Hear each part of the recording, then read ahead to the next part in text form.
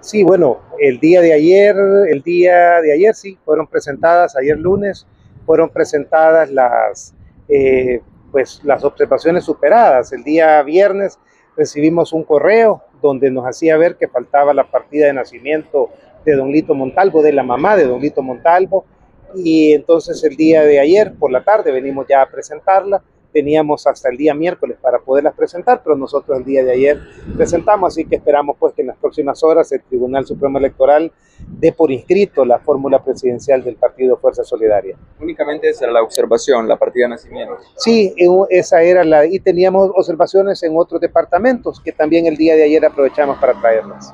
Actualmente, ¿cómo se encuentra ya Fuerza Solidaria de cara a las elecciones, sabiendo que la fórmula está a punto de inscribirse y los candidatos también? Sí, bueno, mire, como el trabajo de Fuerza Solidaria viene desde hace eh, muchos meses atrás, pues incluso desde el 2021, que nosotros, 2022, perdón, que presentamos eh, la solicitud de inscripción al tribunal, ya el partido venía trabajando en la organización territorial, eh, ese trabajo siempre se ha venido haciendo. Lo que se está haciendo en los últimos días es como que dice, em, puliendo las últimas, las últimas tuercas que hacen falta para, para ese, ese evento electoral que tenemos en el 2024.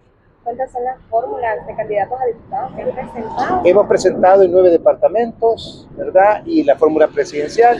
Y en los próximos días vamos a presentar eh, en las respectivas juntas electorales departamentales para poder participar en las 44 eh, elecciones que tenemos a diferentes alcaldías. De los nueve departamentos, ¿en cuáles obtuvieron observaciones? Eh, ahorita todavía faltan algunos que no nos han enviado. Vaya, por ejemplo, ayer traje de Usulután y del Departamento de La Paz, cumpliendo todo lo que se necesitaba habían algunos atrasos en prioridad, en prioridad, que la Corte Suprema de Justicia todavía no había emitido las certificaciones, pero ayer se vinieron a entregar. Así que pues considero de que estamos en tiempo y hemos cumplido con las observaciones que nos han pedido en los diferentes, eh, en los diferentes departamentos donde nos han presentado observaciones. En distintas ocasiones han señalado que ustedes buscan un diputado por cada departamento.